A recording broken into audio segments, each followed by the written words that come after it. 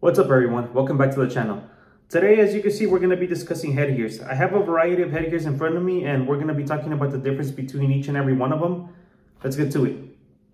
So we're going to start off with uh, with this headgear here. This is a Wicked Boxing brand headgear is actually a it's a quite new brand based in Oxnard, California. It's it hasn't been too long that it, it that it first arrived to the scenes quite similar to winning, uh, similar to a winning headgear, very light actually. Um, a lot more affordable than winning as well. It's a lot, it's a lot less expensive than the winning brand. And like I said, quite quite light on the head. It's, it's not heavy at all. It comes with the cheek protection as well. And uh, I actually have the privilege of wearing this headgear, this headgear myself. Uh, very one of the most comfortable headgears I've, uh, I've ever worn. Uh, very, very, very, very comfortable when it comes to wearing it in sparring sessions and I, I, really recommend it. If you, if you're if you're someone who likes you know who likes to have the the winning headgear who likes to feel comfortable in sparring wicked wicked is a place to go. Like i said it may not be the most popular brand since, since it barely came onto the scenes but it's very affordable and it's very similar to winning. So go ahead and check them out. You, you won't be disappointed. Next we're gonna go to this headgear here. Once again cheek protection on it and it's a title brand you know, a lot more uh, titles, a lot more known. It's been around a lot longer, so a lot more known. Once again, uh, it has the same similar design to uh, to the to the cheek protection when it comes to the winning headgear. So it may feel a little similar, or it may seem a little similar. I'm sorry, but it feels quite different. Now, when it comes to this one, for example, this one tends to be a little lighter than wearing this one here. But once again, very affordable and I've, I've actually worn a title headgear before. Uh, it's it, it's not it's I'm not saying that it's it's bad, but uh, th there's a difference. There's a difference when it comes to wearing title headgear. This here is sweat absorbent as well. So if you if you're someone who you know maybe doesn't want to um, doesn't want to keep their this doesn't want to be uh, cleaning their their gear you know very so often maybe this would not be the best fit for you because like i said it's not leather and it is it is foam so it is going to absorb sweat same thing with uh, with this one here. This one also, it's foam, it's not leather, so it'll absorb sweat. So with these, you want to make sure that you're keeping your keeping your uh, your equipment and your gear maintenance um, every so often. You don't want it, you know, to be smelling funky. And now we go to this one here. Now, a little different here. Once again, title branded, but as you can see, is open faced. Uh, the reason for this being open faced is because when it comes to amateur competition, you're gonna want this sticker to be on the headgear here. This sticker is important uh, that's on the headgear or this uh, this patch here because it, the headgear must be certified for USA Boxing when amateur competition takes place.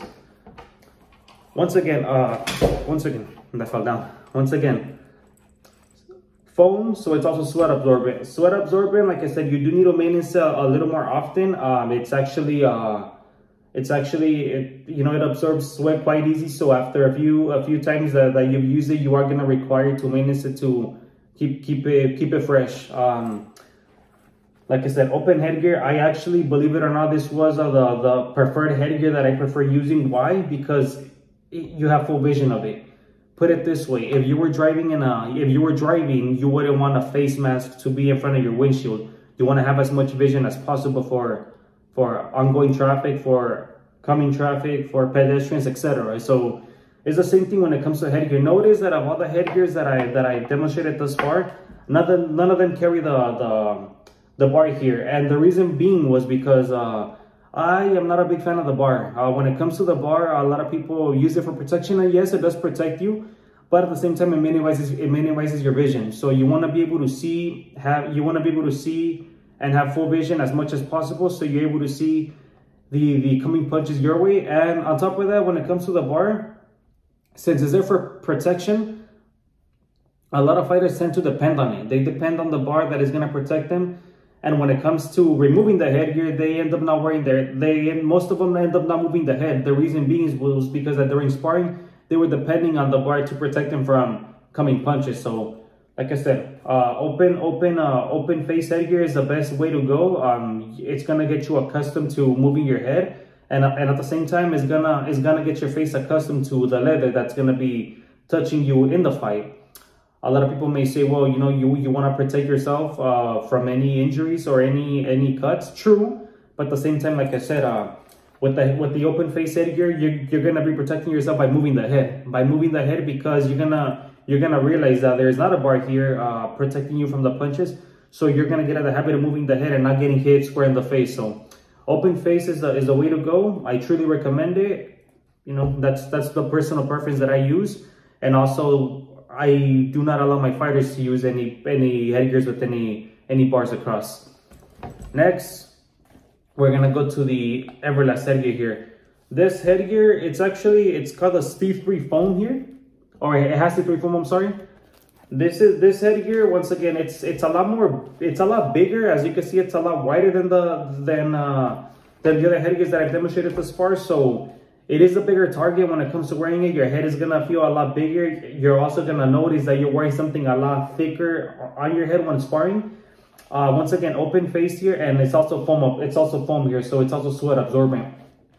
Uh, like I said, when it comes to this, it is a lot thicker. It is a lot bigger, so it does feel that you're that you're wearing something bigger. So you may be exposed to a bigger target when it, or you may be a bigger target. I'm sorry, when uh when when sparring, you know your your head is gonna feel thicker. I've worn I've worn every headgear that I have that I've had here. I have the privilege of wearing, and I can tell you uh, I can tell you with my experiences that this headgear was great, but at the same time, you know, I was not a I was not the biggest fan of it fan of it because my head was was a bigger target. Although I, I you know I consider myself to have a good head movement.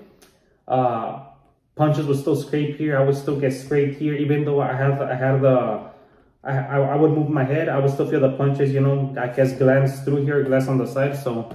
Uh, like I said, good headgear. Uh, I've worn it a few times. It's not as heavy. It is a little, it, it is a little bigger. It's not super heavy how it may look, but like I said, you are exposed to a bigger target. So if you're someone who wants to minimize your target, I think everybody should. Uh, maybe not the best option, but if you're if you're barely getting into boxing and you're looking to buy your first headgear because you're tired of wearing, uh, of you know, you're tired of using the headgear that everybody uses and you don't want to exchange sweat anymore, uh, I I would recommend it. Like I said, it's very affordable. Same thing with the title boxing here.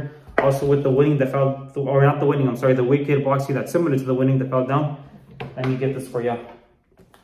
Uh, like I said, very absorbent. Same thing with the with the title brand here, the, the USA Boxing Certified Competition headgear.